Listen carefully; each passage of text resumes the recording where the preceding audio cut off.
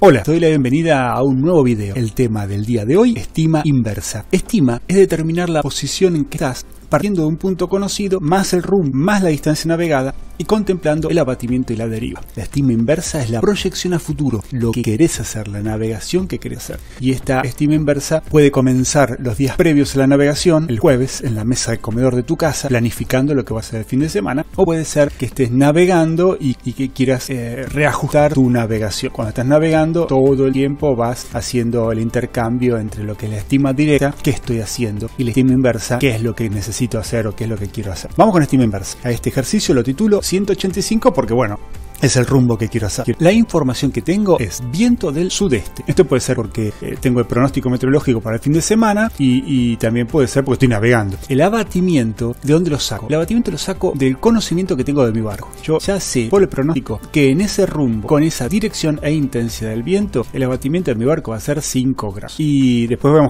cómo, lo, trabajo esos 5 grados. También podría ser que en navegación vengo haciendo el ejercicio e interpreto que tengo un abatimiento de 5 grados. O sea que puede ser de las dos maneras. Porque conozco mi barco o porque estoy navegando y en las horas previas ya estoy entendiendo que el abatimiento es 5 grados. El rumbo que quiero hacer es 185. Yo me fijé en el punto de partida, el destino, y me está dando que el rumbo en la carta es 185. ¿Querés llamarlo rumbo geográfico, que es el rumbo que está en la carta? Listo, perfecto. Velocidad de propulsión es a la velocidad que navega mi barco, no es la velocidad de corredera, que es lo que está navegando. Velocidad de corredera es lo que está navegando en ese momento. Tampoco es la velocidad efectiva, que es la velocidad que hice efectivamente, speed over ground, sobre el suelo. La velocidad de propulsión es a lo que sé que navega mi velero con esa intensidad del viento. O sea, eh, navegando en ese rumbo, intensidad de viento, yo sé que navega a 6.8. La declinación, la declinación magnética del lugar, 10 grados al oeste. Y el desvío, sí, sí, este barco tiene tabla de desvío. Eh, son muy pocas embarcaciones deportivas que tienen tabla de desvío. El desvío es 2 grados negativo.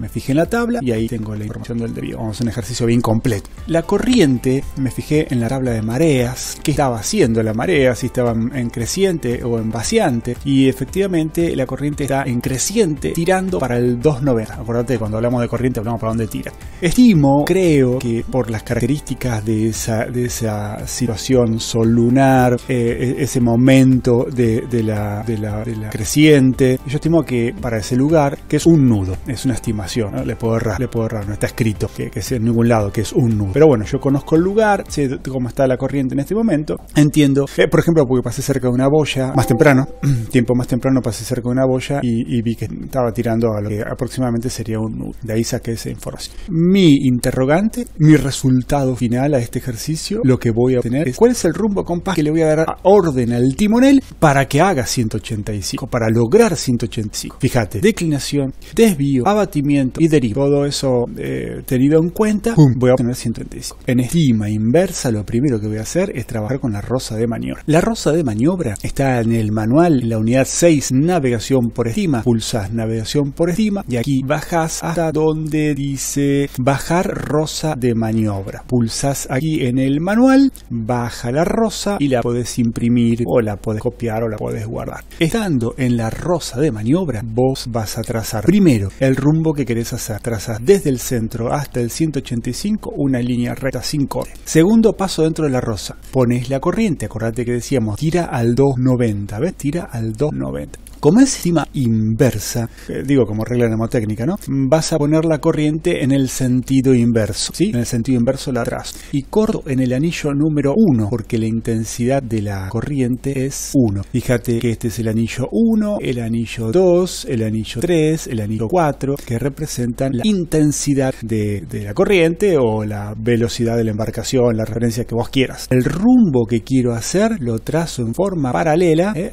al corte del segmento corriente.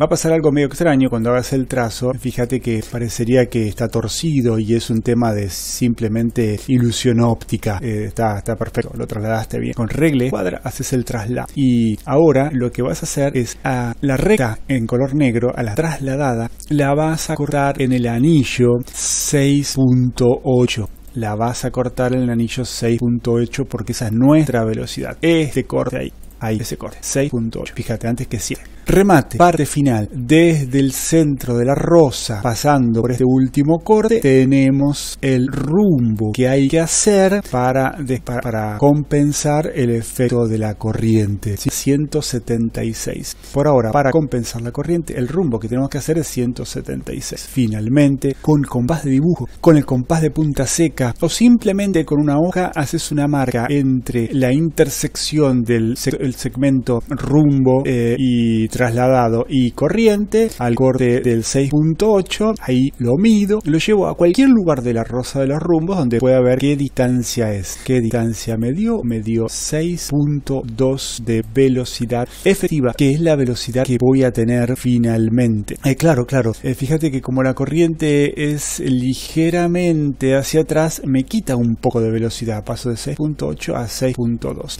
Esto yo te decía, es la clave entre la estima directa y la estima inversa. Vos podés dibujar, esta es la clave, vos podés dibujar la estima inversa igual que dibujas la estima eh, directa, pero el resultado que te va a dar es una velocidad que tenés que hacer para compensar esto. Y la realidad es que acá, acá nos daría, por ejemplo, que para lograr 6.8 tendrías que navegar más rápido y nosotros navegamos más rápido, o sea, navegamos a la velocidad que navegamos. Incluso si la corriente fuese al revés, fuese a favor, eh, eh, nos diría que tenemos que ir más despacio. ¿Quién va a ir navegando a propósito más despacio?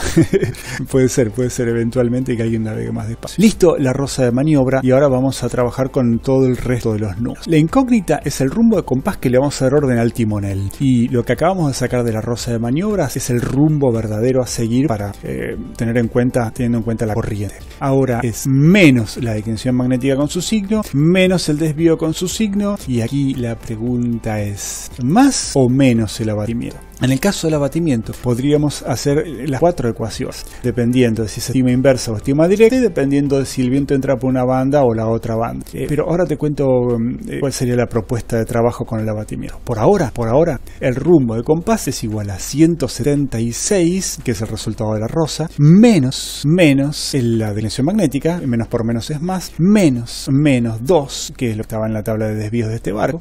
Y en el abatimiento, la propuesta es la siguiente. Vos en estima inversa que estás proyectando a futuro, ¿cuál es la pregunta que tenés que hacerte respecto del viento? La pregunta es ¿qué debo hacer para compensar el viento? Por eso yo te decía, en vez de hacer cuatro ecuaciones diferentes, la propuesta sería que en un costado de la hoja donde estás trabajando, agarres y dibujes un barco. Así, simple, una silueta simple del barco navegando en el rumbo 170, 180, más o menos, no importa, es más El viento de dónde venía, bueno, está en el enunciado. El viento era viento del sudeste. Así que vos lo que vas a hacer es dibujar una flecha con viento aproximadamente del sudeste. Y acá la pregunta es, ¿qué debo hacer para compensar el viento? Bueno, tengo que orzar. Espero que podamos, capaz que no poder.